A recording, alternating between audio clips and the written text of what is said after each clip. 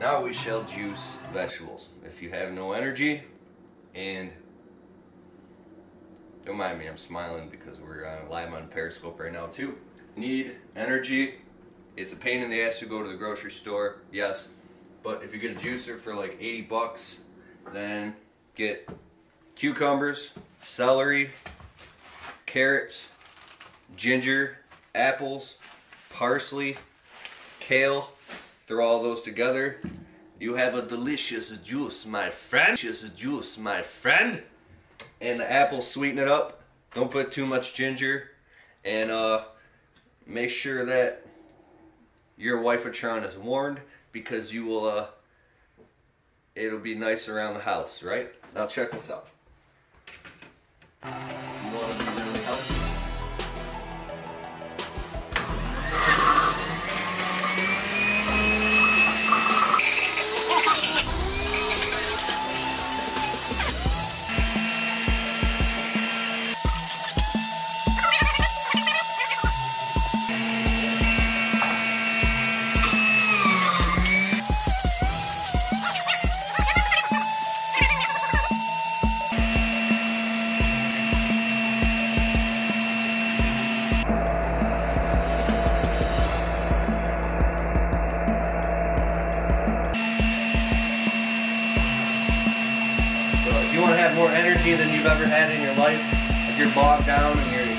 All the time, try juicing. It's amazing. I'm serious.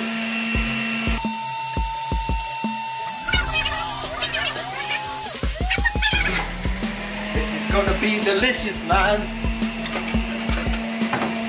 Oh, I need a bigger glass for this. Going all over the place. Oh shit, cow. You got parsley, parsley. I already talked about that. The 7.2 balance, the chlorophyll in your blood. It's high in iron and magnesium. It smells so fucking delicious. Put it in the in the juicer like so. Alright. Cut up an apple. Nice apple.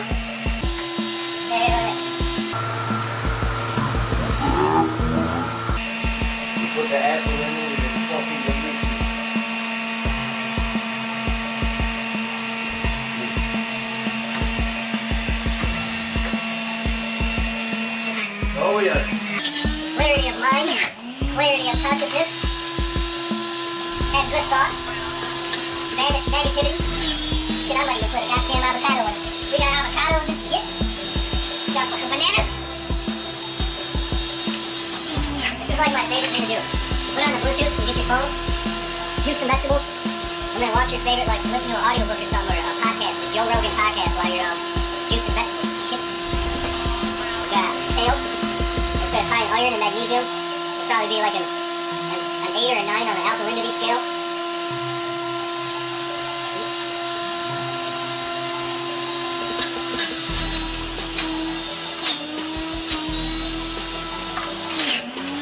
Oh yeah. And then at the end you get to watch me drink it, and then you get to go to the grocery store and get your own. You can get a juicer like this at cheap for like 60, 70 bucks, or you can get a good one for 100 bucks. I'm. If you're bogged down, can't sleep straight, you have no energy during the day, this will make you do backflips. You'll be running around like like an animal. And then also, if you're overweight, it makes you just drop weight, shred the pounds. Look at the documentary, um, Fat, Sick, and Nearly Dead. It's phenomenal. Uh, I think I just I'll put another apple in there. I said, look at the documentary Fat, Sick, and Nearly Dead. It's amazing because people that are really overweight,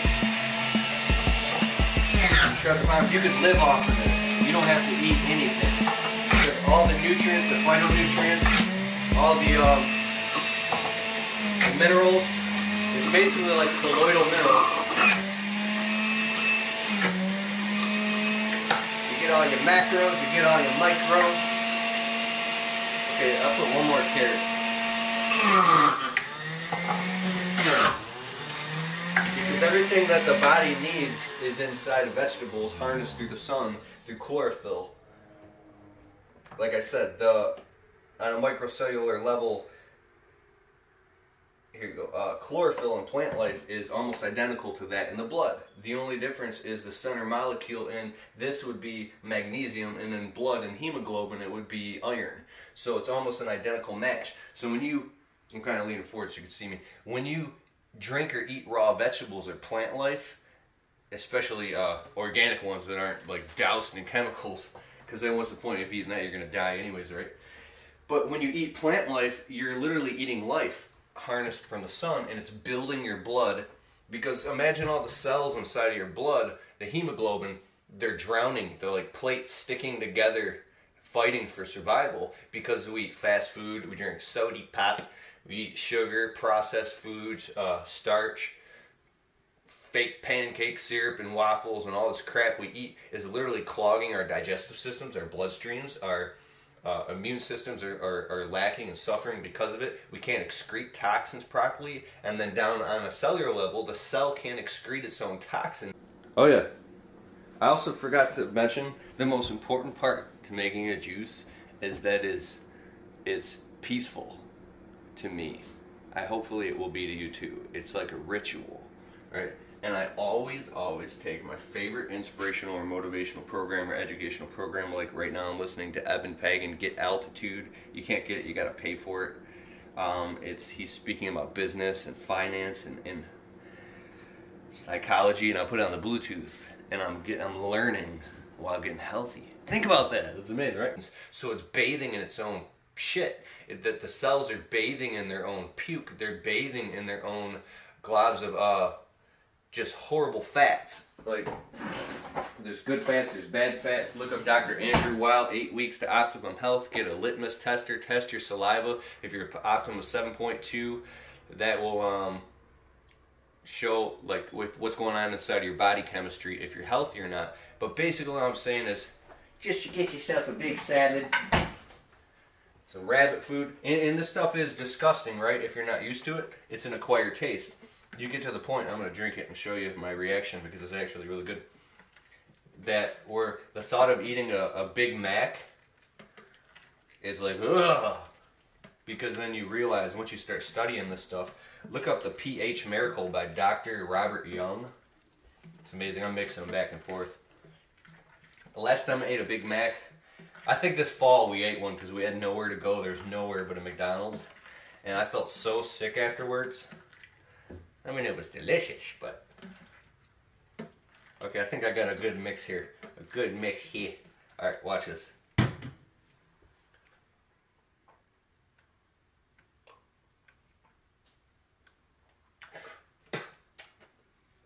Partially on my face. That is amazing. It's like buzzing when you drink it.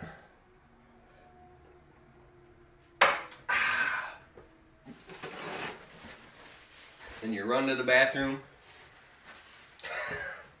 Why am I? It's like, oh man. So listen, you get yourself. Are you guys still there?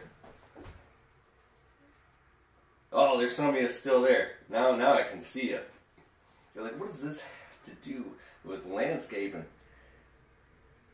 Oh, seriously though, I'm having fun. I got a request video to do um a juicing video. People keep asking me about nutrition.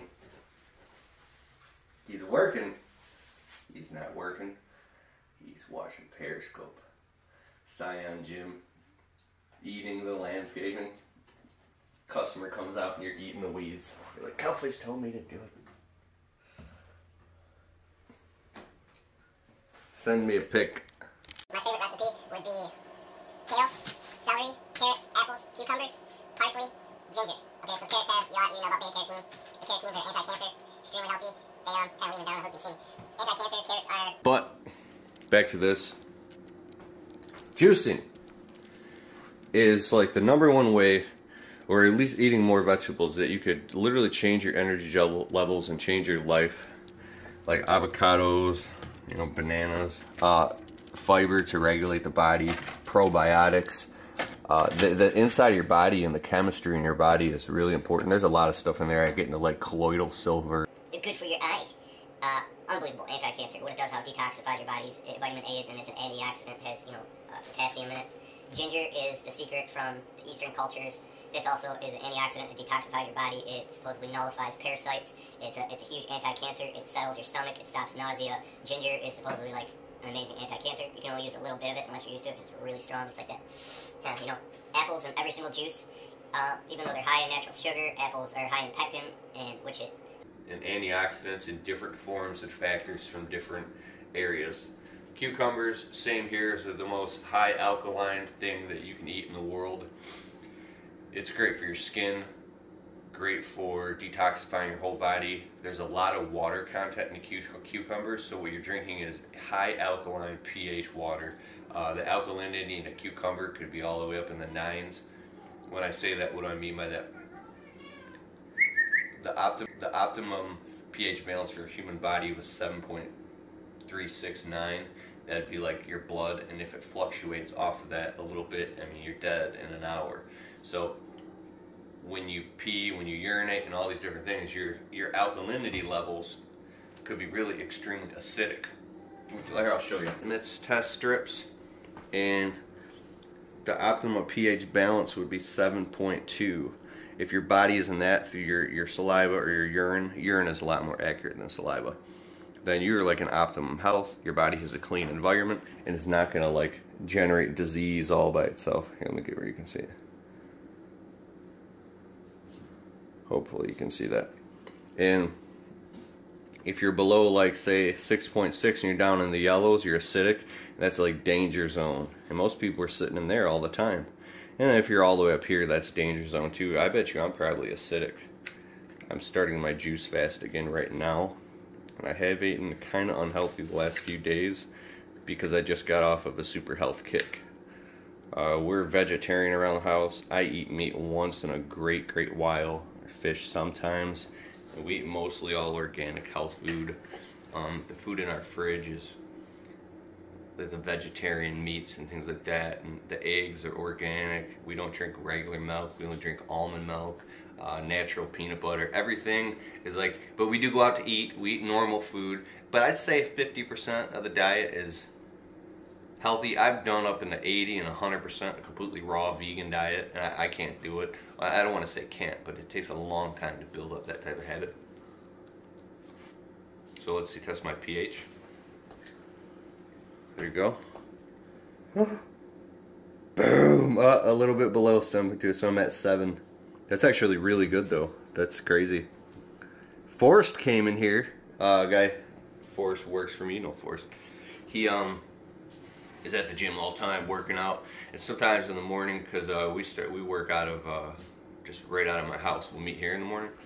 And I'm like hey you want a protein shake? If I'm like running late I'm like you want a green shake? Because my green shakes are like probably 10 up to 20 dollars per shake when I put all the ingredients in it it's really healthy. He goes sure. Comes in I'm like let's test your let's test your freaking pH Forrest. I'm like it's gonna be acidic. And he always tests 7.2 all the time. That's really interesting He's what, 20 years old, really active, super healthy. So, anyways, back to this. I take everything, throw it in the juicer. Um, not too meticulous, and it usually takes about two glasses. And I'll just do it live right here for you right now. Let's make it juice. I'm actually going to do a live Periscope right now, so you guys can join in live, and then, but not to take away from you, and then we'll do the juice video. Okay, so we got the juice video with a little bit of uh, crazy ass motivational speaking. Pick yourself up a juicer. Bed Bath and Beyond, any place like that, you go to freaking Walmart and get one. Go buy a bunch of organic vegetables. Don't follow the juice recipes, trust me, where you're putting turmeric and garlic and a whole bunch of ginger and crazy shit in the juice because you're going to drink it one time, you're going to spit it out in the sink. I've done this. You go, oh my god, this is disgusting. How is that Keith guy doing that? I'll never do this ever again. Don't do that. Don't put uh, ginger and turmeric and weird roots. Put just like carrots, celery, kale, parsley, cucumber, apples because they're sweet. And then try it like that and make it sweeter with more carrots and more apples. Less greens in the beginning. and then I, I'm telling you, your energy levels will jump through the roof. And if you don't have time to, to do this, go to a juice bar or go to a nice organic grocery store. There's juice bars. Look this up and pay eight ten bucks to get a juice and slam that bad boy down and watch yourself feel like you've never felt in your life. All right, thanks. Hit the thumbs up button if you got to the end of this video. I don't even know what the hell that means. I just see other YouTubers doing it. And I appreciate you. Peace. All right. helps get toxins out of your body, but apples sweeten up the juice so it tastes better, right?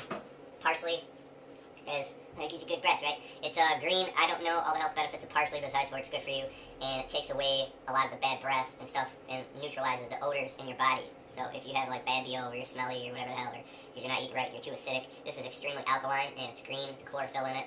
Um, chlorophyll matches the hemoglobin in the blood on a micro, microcellular cellular level, like almost identical. The only difference is the center molecule in um, this would be magnesium, and in the blood it would be iron. You know what I mean? It's very similar on the anatomic level to human beings. That's because we're eating life. You're consuming and digesting life directly from the sun. It's phenomenal what vegetables are. You can't. I don't know how people live without them. Kale is extremely high in iron and potassium. Uh, it's uh, super good for you. I don't know all the stuff about kale. Same with celery. They're, they're just different. All right. So you got a million people pulling on you from different directions, all wanting something from you. And does it make you feel important? Does it make you feel frustrated? How does it make you feel? How do you react? How do you respond to it? But if it's not in line with your highest purpose and your highest priority and your highest level of being and evolution, then those things can fall down. They don't matter. I do believe that the highest level of evolution is what's the word for it? It's it's giving back. It's resolution. It's helping people. It's ending up in an institution. the highest level evolution is getting to a place where you become a statesman. When you're young, when you're a kid and you're in your teens and your early 20s you're obsessed with your body and your physical energy you're, you're there's different levels right you're obsessed with how much you can do and how much you can achieve and the uppercuts you can make and how you can do leaps and bounds you're obsessed with your physical body and all the gifts and talents that you've been given right and not really as much into the wisdom aspects but when you hit like say your 30s and 40s that's when you get into different levels you become you go from like this I, me, my to a more of a compromising state, which is we. Like you, you begin to develop uh, like the first stages of wisdom, where you can really see things more at a glance, like I'm speaking, right? And then that that goes by on this conscious state, this plane. But not until you hit the 50s does it elevate again, and then you move into what's called as a statesman. A statesman is somebody who is, well, not all old people are wise. Some of them, I just won't say it. are really fucking brainwashed. But supposedly you become a statesman to where now you have wisdom. And you can't trade anything for wisdom. That's why you're not jumping. That's why you see older people are not jumping at every little thing and they're freaking out. Unless they're neurotic which the system has made them to be. But if you look at somebody that is really successful, that you really aspire to be like, that has their act together mentally, physically, emotionally, spiritually, they got their health and fitness together, their relationships are together, they're in touch with their creator, their higher self, their spirit, and they're balanced people. And they have healthy boundaries as well. These people have healthy boundaries, so when somebody comes and invades or imposes on their boundary, they no, they put a stop to it immediately, right? oh, that hurts feelings though, but it's no. It's the ability to hear no and say no with no residue. So think about that. What is a healthy boundary? What is healthy self esteem? It's the ability to hear no from somebody when they say no or they reject you, and the ability to tell people no. No. With no residue.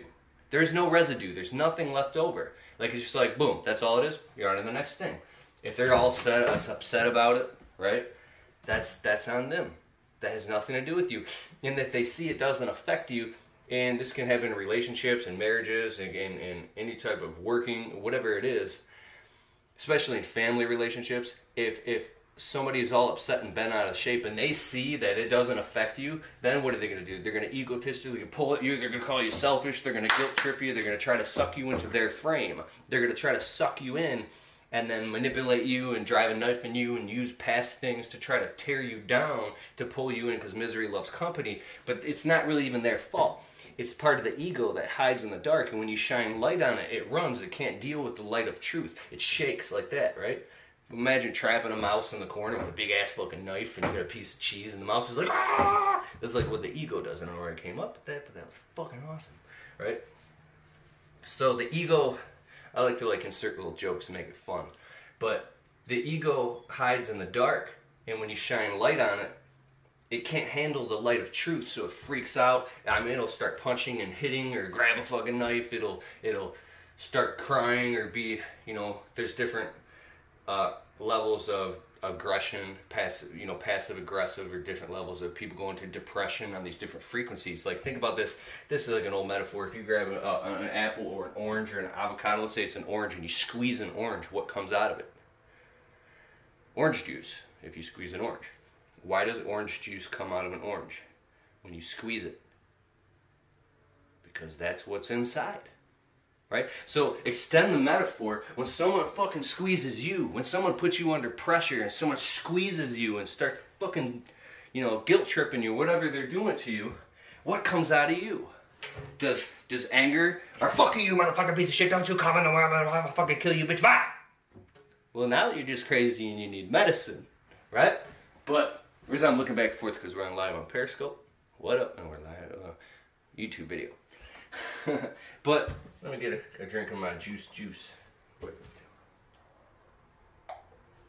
There's like something on my YouTube videos. You see like carrot juice all over my face. I'm like, fuck it, this is the carrot juice episode, bitches. Okay. So, if someone squeezes you and puts you under pressure, and you get anxiety or you get depressed or you freak out or you attack them or you go into the spinning what would be called a swirl you go into this nightmare where you're in like anxiety or you can't think straight and your heart's pounding then you start telling yourself this victim story where you're like pleading to a court well fuck that person he doesn't fucking understand anyways. He doesn't know because he's a fucking loser. Or she doesn't fucking know because she's not in my fucking position. If she knew what I've been through, blah, blah, blah, like, now you're not present. That's when people get in car accidents and shit, right? Because like they just got in a big ass fight and they're like,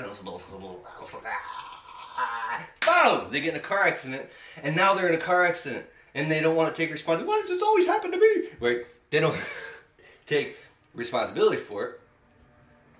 So as you go through all that stuff, you just begin to see cut and dry what it is. You develop healthy boundaries and you realize that all that shit is subconscious, it's egoic, and it exists in different people at different levels, and people don't like to admit this stuff.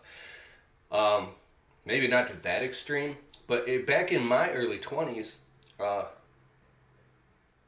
not that I'm not now, but I was really messed up in the head and in my emotions. There was a huge disconnect. I could feel it. I couldn't articulate it, but I could feel that there was this tug of war, this constant, like, um, what was it? It felt like a uh, conflict, inner conflict that was ripping me apart every day, and I was going crazy, and I couldn't bear down and see it because it kept moving. But it was inside. But I was consciously awake, living my life, very ambitious, trying to be successful. But there was this inner conflict just ripping me a- apart because I wanted to be successful. I wanted to be somebody, but at the same time, I felt and thought that I was a piece of shit. Like, I'm aware of this ingrained uh, virus come from? Like I felt like I was because you come from a broke family, all broke, other type of stuff. Uh, it's so it, it is hard. It's still in, in all of us. When you it comes down, uh, Doctor um, Schwartz, Tony Schwartz, in the Power of Full Engagement.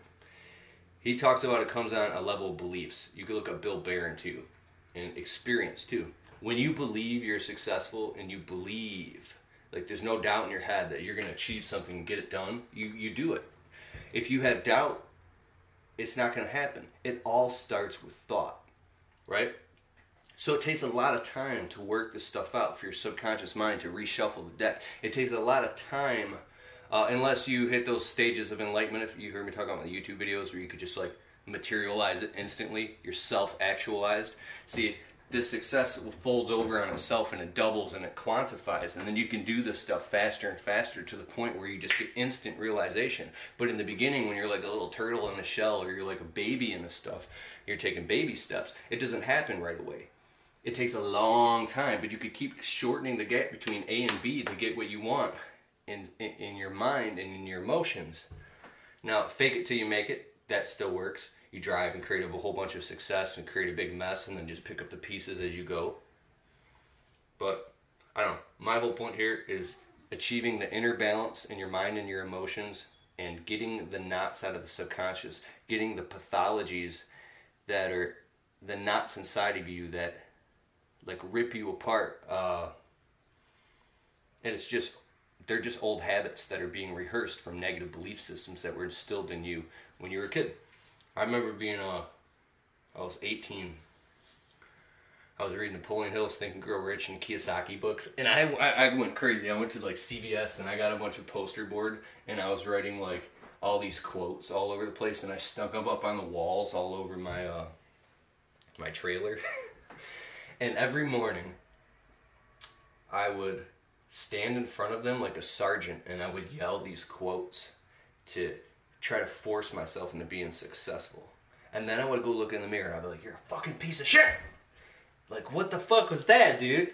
It's because when you're young and you look around with people who got nice cars and flashy things, you're like, they're fucking, what are they? Are, uh, they're better than me. I don't have that, so I must be a fucking loser, right? And then the interesting thing is, every single one, going back to that time, of the friends that I had, and even all the people that got houses and stuff like that at such a young age. I would look at it and take it for face value and be like, how are they doing that? And I realized that every single one of them had some type of breakthrough or some type of hand up or some type of help to get it or some type of breakthrough, right? But then the interesting thing I noticed as well, what are the percentage of people that take advantage of the breakthrough, that take advantage of the help, and they go out and they make something great out of it versus just smoking it up, right? Like, how many people do you know that have had a great opportunity, but they waste it? They go and they get high, or they get drunk, or they piss their lives away, or they blow money at the casino. So, either way, all paths lead to true north.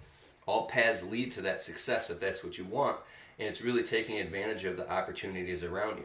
I think that that um, people who have a help or a hand up, if they're out there working their ass off and they're making it happen every single day, then that is like that's amazing because who else would have taken the opportunity and went out and did what they did? I got a friend who got a chunk of money when he turned like 18 or 19, and this, I could say idiot, but he blew the money. He blew it all, and then he went into depression because he was broke and never get a job again, and then he was sitting depressed.